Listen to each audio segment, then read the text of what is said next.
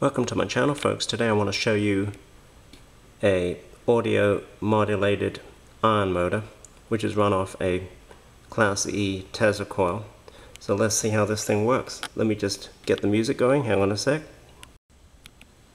Before I uh, run the music, here's the equivalent that's non-audio modulated.